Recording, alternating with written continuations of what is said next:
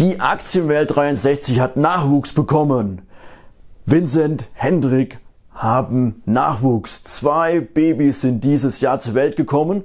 Deswegen gehen wir heute den ganz wichtigen Thema nach. Wie investiert man richtig für unseren Nachwuchs, also für unsere Kinder und Enkelkinder? Und dafür sind wir heute eine absolut gute Expertenrunde.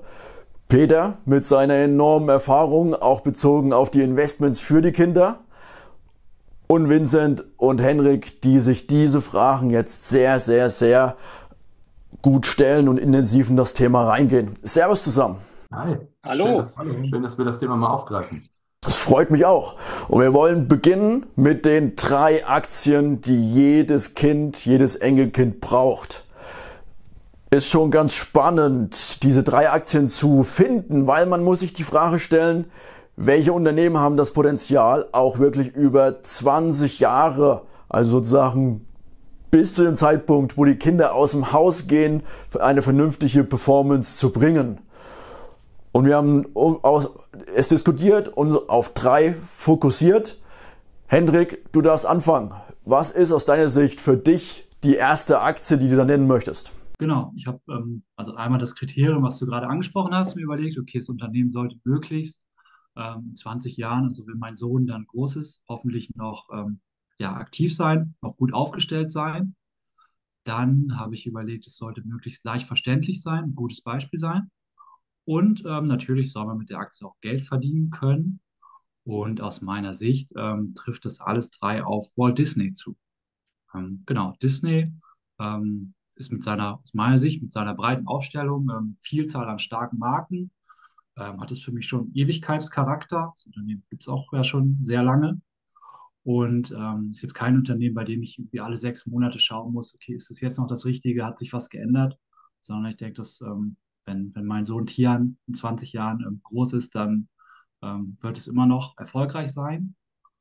Und ähm, ist aus meiner Sicht auch eine gute Aktie, weil ähm, es leicht verständlich ist, ein gutes Beispiel ist. Also wenn wir dann mit ihm vielleicht dann später mal ins Kino gehen, Disney-Film schauen oder einen Merchandise-Artikel kaufen, vielleicht sogar mal ähm, nach Disney World fahren, dann kann ich ihm sagen, ja hier, ähm, dir gehört ein, ein ganz, ganz kleiner Teil davon.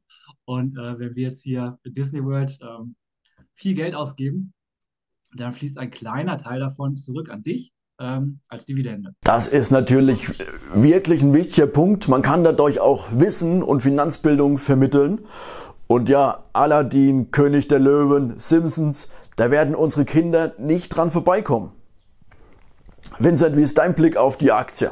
Wenn wir das mal aus operativer Sicht sehen, also ich teile erstmal alles, was äh, Hendrik gesagt hat. Ich glaube auch, dass Kinder einen sehr leichten Zugang zu Walt Disney haben werden.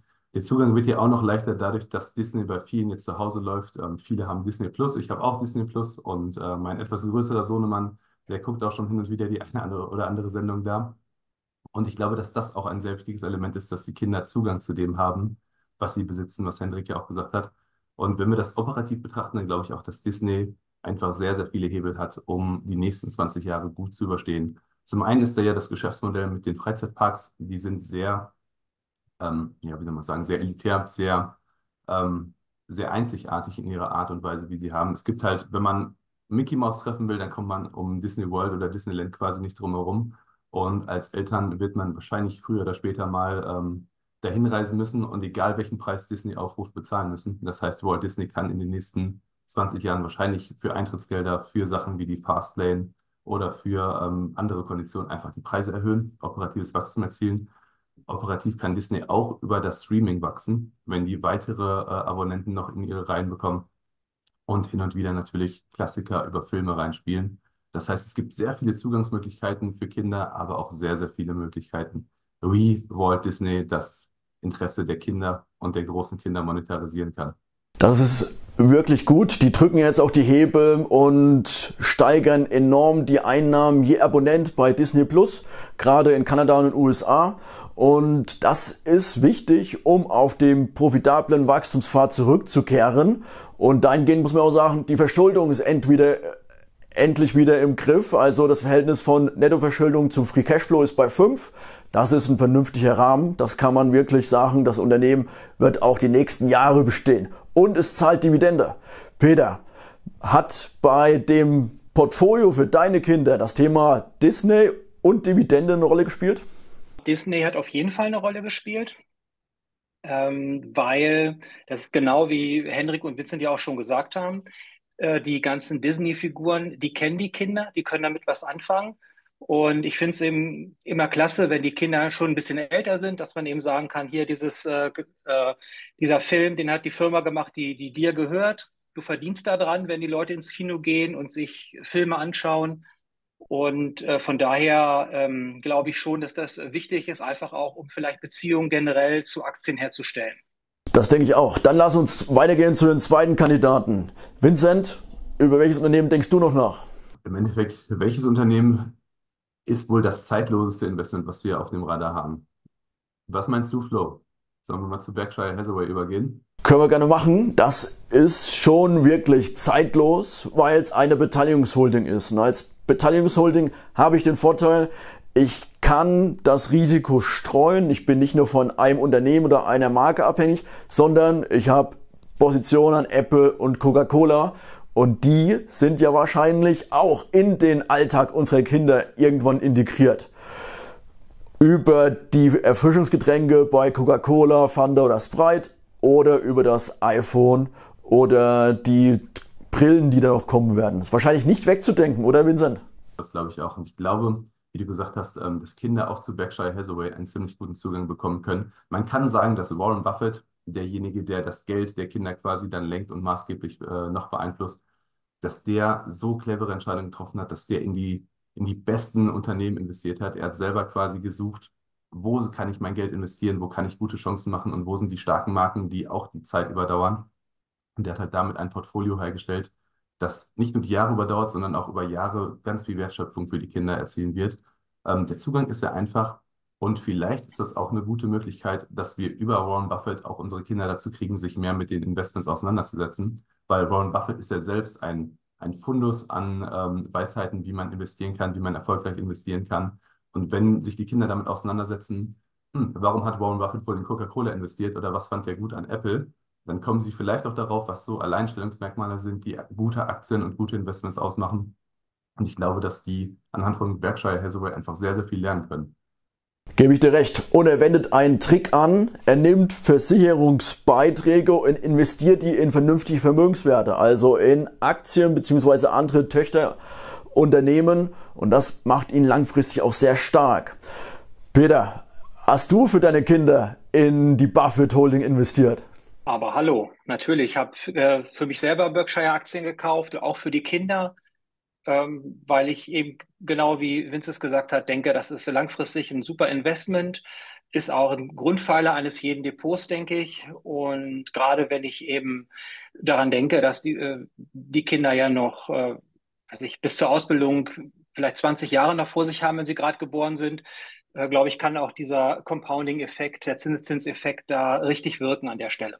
Und ich glaube, für die Bildung ist auch wichtig, diese Cash-Position, die er hat. Weil er sagt ja, ich will unabhängig bleiben, auch wenn es jede Menge Krisen gibt. In dieser Welt möchte ich weiter Liquidität haben, die ich dann zu guten Konditionen einsetzen kann und nicht bei der Bank klopfen muss. Und auch diese Denkweise könnte unseren Kindern weiterhelfen, dass auch die Unabhängigkeit wichtig ist und dass auch dieser konservative Ansatz nicht zu viel Fremdkapital aufbauen, da glaube ich auch in der Kultur von der Holding liegt und das unseren Kindern auch weiterhilft.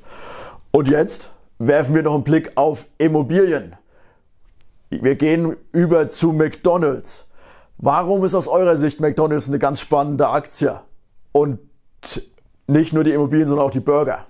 Also ich denke, McDonald's ist wieder so ein Beispiel für ein Unternehmen, das wirklich jedes Kind kennt wo, glaube ich, kei keine Eltern dran vorbeikommen, da mehr oder weniger regelmäßig mit den Kindern hinzugehen, weil die das einfach toll finden. Das heißt, wir haben hier ein Unternehmen mit einer ganz starken Marke. Dann haben wir eben das Produkt, wofür McDonald's bekannt ist, den Burger, den Big Mac, die ganzen anderen Dinge, die alle mehr oder weniger gesund sind für unsere Kinder. Und was aber eigentlich drin steckt bei McDonald's, neben den Burgern, ist halt das Thema Immobilien.